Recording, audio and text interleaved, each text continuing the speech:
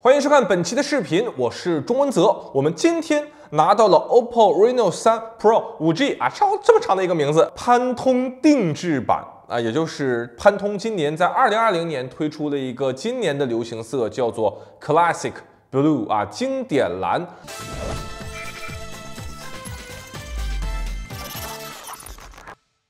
首先我们给它开箱，呃，那里边大盒套小盒，又是一个。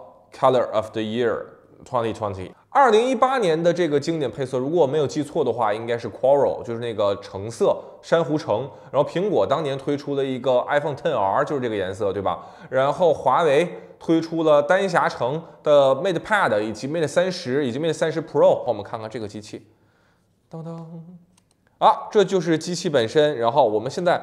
首先把机器啊简单放在一边，看看里边有没有什么这个版本特殊的定制。这里有一个它自己的手机壳。这次 OPPO Reno 3它的快充插头是一个三十瓦的 VOOC 闪充。然后大家看这个插头也进行了哦，呵 呵也进行了潘通流行色的定制。这次的颜色配的很足，大家看这里有一个。呃，Classic Blue 的这样一个硅胶哦手机套，这次开箱每一次在我没有想到的地方，OPPO 都加入了蓝色，然后里边这个植绒手感，就是这个内衬也是经典蓝，跟普通版不同的，普通版是一个普通的数据线，呵 呵我说这话好像废话，但是在这儿呢，它是一个外表由尼龙材质所组成的 VOOC 的快充数据线，有一个蓝色的耳机，大家看。这个耳机线也是蓝色的，然后这个就是它附赠的一个耳机。这个耳机的外侧啊，有非常非常亮的一个小玻璃反射。佩戴上之后大概就是这个样子，然后我就不给它打开了。打开之后那线不好收，我又找不着了。好，我们现在来给它撕膜。当当，哦，现在我手里拿的呢就是 OPPO 潘通定制经典蓝二零二零流行色的这个版本。大家看啊，首先呢，它的这个玻璃是由两种不同的工艺去完成的，就是这个位置是今年大家比较熟悉的磨砂质感，有一点点像 iPhone 后边的这个磨砂质感，这是一条亮面光面的玻璃，然后呢，下边有一层镀膜，写着 Classic。blue，然后右下角有一个潘通的小色卡，大家看，这不是贴纸，这也是在玻璃上进行加工的。我尝试进行撕，撕不下来。OPPO logo 的位置从右下角移动到了右上角，然后其他部分增加了更多的不同的工艺以及不同的纹理。我们给这款手机佩戴上一下它的手机壳，给大家看一下，这是一个硅胶质感的，啊。我觉得不错。另外呢，我看到网上有一些声音，就是关于这个文字的样式，大家现在觉得这个文字的样式定制的是否好看呢？如果你觉得好看，你可以在弹幕里打一；如果你觉得不好看，你可以在弹幕里打二。就是我自己上手的感受，这款手机如果你拿出去的话，确实能够感受到它肯定要比普通版要更用心一些，更花心思一些。然后我们现在给这个手机进行开机。现在开机了，大家看一下，我左边左手边这款 OPPO Reno 3 Pro 潘通定制版，它的主题和这套 OPPO Reno 3 Pro 本身也是不同的。它这套主题呢，如果单纯从美观性上来说，我可能还是要更喜欢呃标准版的这一套呢。它有一些些这种标新立异的感觉吧，就是每一个小图标都采用了重新设计，而且大家看。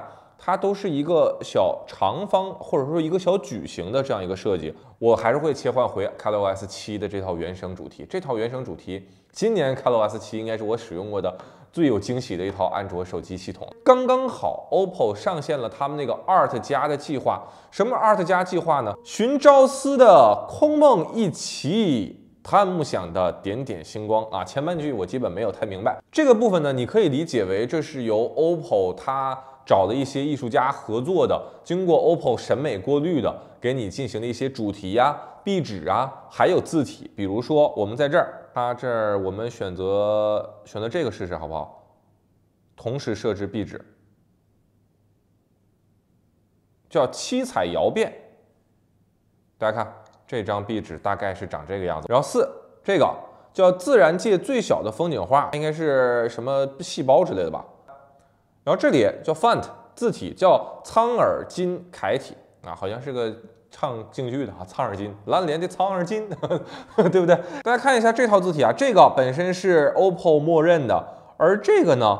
呃，我应该怎么理解呢？它应该是更具有书法效果的，但是又融入了一些现代元素的这样一个字体。如果你最近关注我微博比较多的话，你可能会发现我最近使用 OPPO Reno3 Pro 的频率很高，最近这段时间已经超过了华为的 Mate 30 Pro。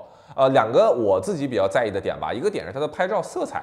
拍照色彩真的很好看，呃，它可能没有那种呃非常强劲的暗夜拍摄呀，或者说非常遥远的那种远距离望远啊，但是它的调的色彩应该是我在最近使用过的。二零一九年的手机里，色彩应该是旁名列前茅的。还有一个点呢，就是它的很轻薄，一百七十一百七十一克还是一百七十六克来着。至于这款手机本身支持的一个九十赫兹的屏幕刷新率，这一点呢，我之前在微博上也跟大家分享过了，就是九十赫兹，它绝对不是一个你所谓的用了就回不去的这样一个技术。即使我天天用这个 Reno 3 Pro，但是。我拿起 iPhone 这个六十赫兹的刷新率，可能只需要刷五分钟的时间的时候，我就已经能够适应这个六十赫兹刷新屏幕下的这样一个感受了。但是你会能明显的感受到九十赫兹和六十赫兹有一个非常大的改变。啊，就即使你不懂手机的参数，你在看到六十赫兹和看到九十赫兹屏幕的时候，你会感受到九十赫兹的那种充盈感。而且从二零二零年开始，有更多的手机开始支持一百二十赫兹了。我也对这个技术非常的期待。如果你对这款手机感兴趣，我相信啊，OPPO 的官方旗舰店应该有上手体验这款机器的啊，你可以去亲自上手摸摸看。好了，以上呢就是本期视频的全部内容。更多资讯，大家可以关注唐娟数码。我是钟文泽，我们下个视频再见。还没有完全的再见，我再跟大家介绍两个我最近更新的比较喜欢的小物件。一个是这款的华为 Mate 三十出的这个手机壳，这官方的手机壳。呃，应该是塑料材质的吧。然后这里下面有一个小老鼠，寓意着鼠年。然后鼠尾巴是 Happy New Year 二零二零。我知道我说到这儿的时候，一定会有同学问，他为什么用英文写不用中文写呢？对不对？可能是中文写新春快乐凑不成这个尾巴的长度。佩戴上呢，就是跟普通的正常壳是一样的。Mate 三十 Pro 和 Mate 三十 Pro 五 G 的标准版本都可以使用，但是那个皮质版本。啊，丹霞橙和墨青山黛这两个版本呢也能用，但是挤一点，费劲一点。还有一个呢，就是跟大家更新一下，呃，AirPods 以及 AirPods Pro 都支持 emoji 的表情镌刻了。什么意思呢？